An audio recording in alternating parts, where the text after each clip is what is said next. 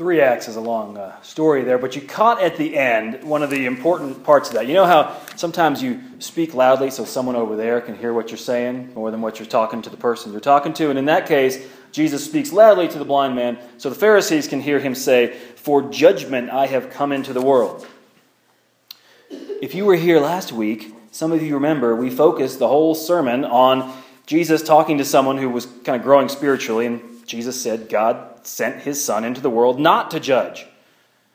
This week, last week, not. No wonder the church is so messed up. I, I, get it that context matters and that those are, aren't really contradictory statements by Jesus. They mean different things to different people. But if the only story you ever heard about Jesus was last week's not to judge, then you'd have one sense of who Jesus is. And if the only story you ever heard about Jesus was just this sentence, for judgment I have come into the world, you'd have a very different idea of who this guy is. Uh, frankly, the more I read the Bible, the more I am convinced that some people completely miss the point. Uh, let me rephrase that. The more I read the Bible, the more uh, I understand why some people think I'm a raging heretic. Anyone else a raging heretic here? Anyone else think that other people just are completely missing the point? That tension, I think, is really at the core of our story today. And, and it's what a story. Um, two weeks ago, we had this simple story of Samantha, the Samaritan woman, who's hanging out at the well, and uh, she had one little conversation with Jesus. We pointed out that she was probably one of these people we call spiritual but not religious. And then she started to learn something about living water. We're just starting to cover that up. We're just starting to answer that question about living water. And then she starts to find a new life. And then last week we have this guy, Nicodemus. He's a leader in his church. He might have been religious, but not so spiritual at some point in his life. But then something's growing in him this interest, this feeling, this depth. And, he, and so he snuck out at night and he snuck over through the dark to find Jesus and talk to Jesus. And Nicodemus doesn't understand a word that Jesus says, but there's a door open to him to, to being born again into this new life. And so, so this week, we'll get to the blind guy soon enough. But did you ever wonder what happened to Nicodemus? After that night, he, you know, he snuck back. Did anyone catch him? Did, he get back to his church and he went there on, on Saturday? His, his church was on Saturday. Did he get there and he just said, Yeah, I'm just going to go back to my church family, like nothing ever happened? That conversation, we're just going to leave that one in the past and forget it and go back to status quo. It's a pretty, pretty good thought, Jesus, Rabbi, but you, know, you don't make a lot, a lot of sense, and I've got this thing kind of figured out. Or, or do you think the other option is maybe he just dropped all of his friends and his family and his church and his history and his tradition and he started to follow Jesus? One conversation might have made him into a disciple. I don't really think that happened either. My sense is that maybe he went back to his friends and his family and his mentors and the people he taught and the people on his synagogue committee, and he started to tell them about new ideas he had. And he started to tell them that what, what he had been thinking his whole life just wasn't working anymore, and that maybe he can help church be better. It'd be a stretch if he just told them directly, Jesus has this way over here. But maybe he just kind of probed with them this new sense of spirituality. And maybe he started to use new language. And maybe he prayed to God differently. And maybe he looked out for other people who sort of believed or sort of questioned the way he believed and questioned. And maybe his own faith started to transform. And he, maybe, maybe he even tried to, tried to help other people transform his church and reform his church. And maybe he pushed them to listen to the Spirit or to be open to what God is doing next. Verse 16 in Act 2, scene, I don't know which one. Some of the Pharisees said, This man is not from God, for he does not observe the Sabbath. But others said, How could, how can a man who is a sinner perform such signs? And so they were deeply divided. Now, this is just pure speculation on my part. I have no biblical basis for guessing this, but my idea is that maybe Nicodemus was one of the ones who was defending Jesus. Maybe Nicodemus was the one who said, How can a man who is a sinner perform such signs? Maybe Nicodemus was the one who wondered that God was standing for something new. Maybe Nicodemus was the one who lifted up the idea that God might be better than we've always thought our whole lives. Same kind of thing happens later on, uh, Acts 5. You can read that back at home. We're going to probably read something around there on Pentecost. In Acts 5, this is the birth of what we call the Christian church. This is Pentecost going on. And Peter is brought before the religious leaders, all these big fancy guys who are probably wearing big fancy clothes. And, and, and, they're, and they're accusing him of being unorthodox, maybe dangerous, definitely just a little off. And some of the Pharisees, they want to punish him. And some of them want to just take Peter and all these other guys and just kick him out of the church. Others, there's this guy there named Gamaliel.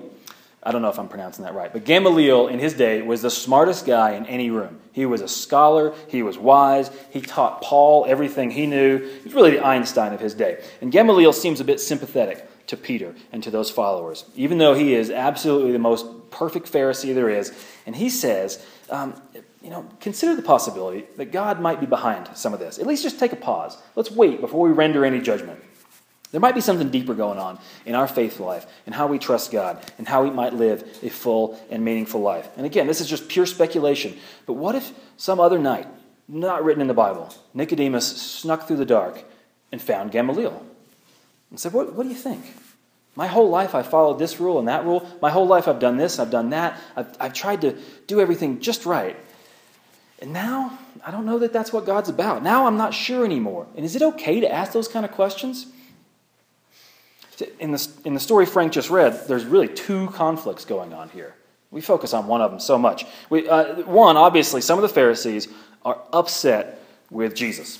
They're always trying to get him. I mean, around every corner, they're trying to trick him into a conflict, and it's almost always a conflict between politics and faith. They try to weasel him in, in there. And the blind guy, let's call him Bill because we've been giving everyone names that we're used to. So Bill, um, Bill gets caught in the middle of this conflict. And Bill becomes the excuse that they can point to in their war between religion and Jesus' radical agenda. They say, Something's wrong with that Bill guy. Something's different about him. We've always known that when something is different, that's their fault. Maybe their parents' fault, but that's their fault. The poor, the divorced, the old, the lame, the women, the blind, the gays, the foreigners, the short, the uneducated, the socially awkward.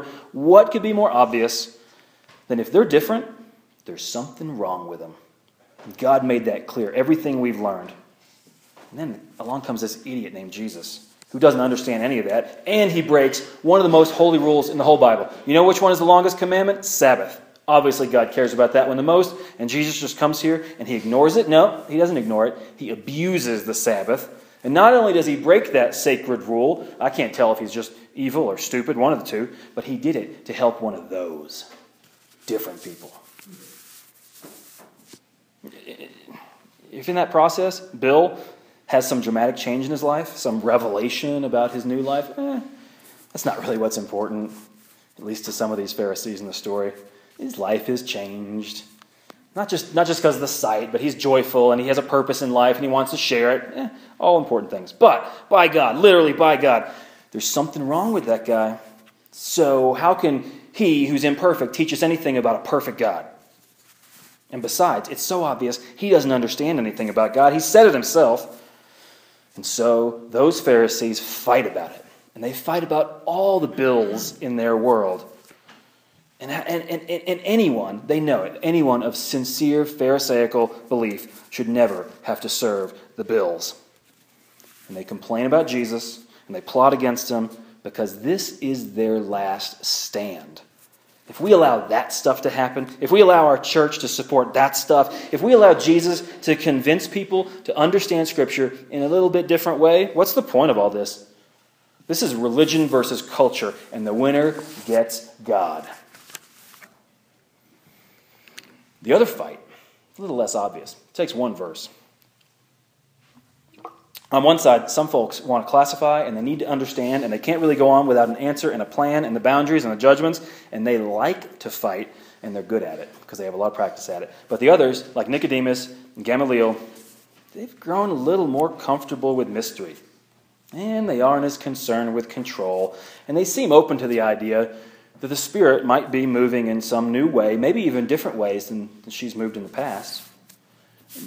They tend to be better at compassion than conflict, but something is compelling them at this moment in history to stand up. And, and maybe this is the hardest thing to do uh, how to be prophetic w- without being precocious, how to preach the good news without being preachy. This is religious sensibility versus religious sensibility, and the winner gets, I don't know. Feels like God loses either way, doesn't it? And it feels like it just still has to happen. The fight still has to go on. There's two fights in this story. One gets most of the press, verses 1 through 15 and 17 through 41. You've heard about that one. Everyone sees them fighting for control. There probably were some compassionate Pharisees who said things like, oh, love the sinner and hate the sin. I don't know what that thing means, but I'm going to guess they invented it. But the ones who stood out the most of that group, the ones who kind of capture our imagination, when we think of Pharisees in the Bible, those people were just angry.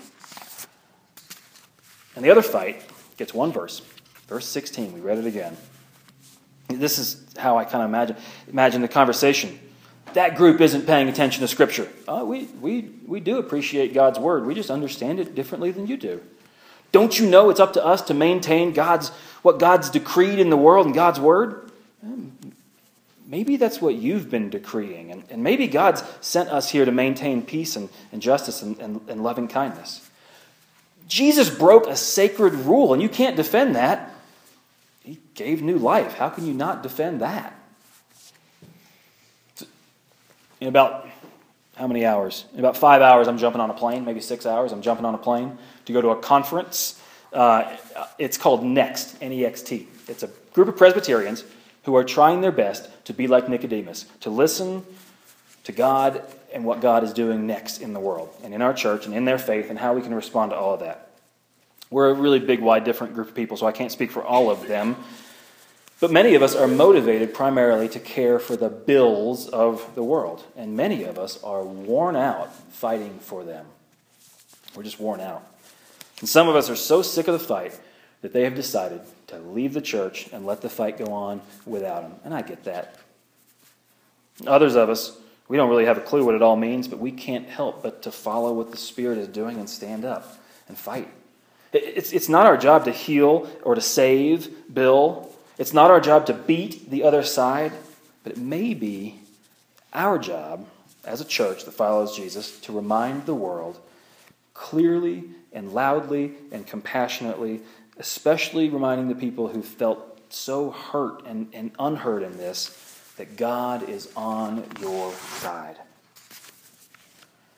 See, see, church, when it fights against the world, has this terrible history. It does. It has a terrible history of judgment and oppression and of forcing everything kind of from the, from the heart to the head and from the head to the paper and from the paper to the rule and from the rule to, I don't even know where God is anymore.